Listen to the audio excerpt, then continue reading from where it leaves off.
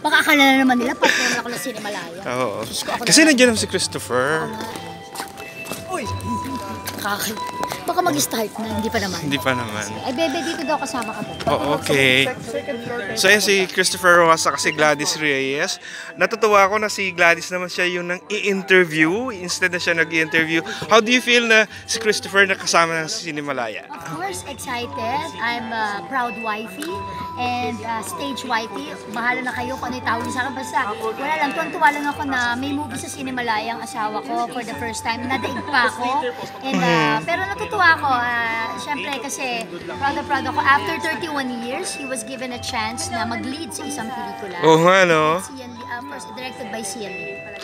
Ah, how do you feel naman na ikaw ang pinili ni Sian with Benji? ano, I'm, I'm, I'm grateful po sa kanya and sa, salamat, salamat and uh, dumaan ako sa isip niya and yeah, um, maganda naman yung ginawa namin. Okay, I think magsisimula na. So, thank you. Pwede yung isang picture, picture. Tsaka tayong dalawa na